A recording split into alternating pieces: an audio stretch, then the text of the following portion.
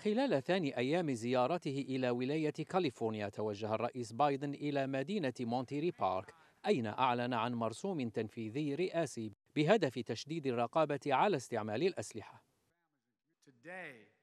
اليوم سأقوم بتوقيع أمر تنفيذي يعمل على تسريع وتكثيف العمل لإنقاذ المزيد من الأرواح. أولا يساعد الأمر التنفيذي في الحفاظ على الأسلحة النارية بعيدا عن الخطر. واستمر في دعوة الكونغرس إلى طلب إجراء فحوصات أمنية لجميع مبيعات الأسلحة النارية.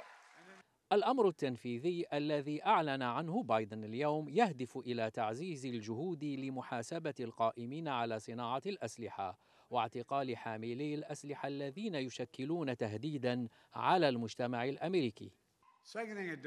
بمقتضى الأمر التنفيذي أطالب بدراسة حكومية مستقلة تحلل وتكشف كيف يقوم مصنع الأسلحة بتسويق الأسلحة النارية بقوة للمدنيين وخاصة القصر بما في ذلك عن طريق استخدام الصور العسكرية.